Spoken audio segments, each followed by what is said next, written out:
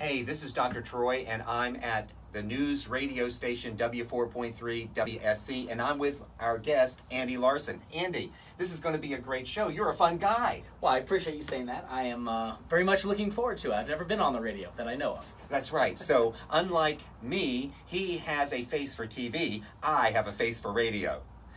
Well, I haven't grown the beard, but uh... and, that's it. So you see this smile? This is the kind of smile you're going to get when you listen to the show because this guy oozes with smile. So listen on Sunday, 94.3 WSC Radio.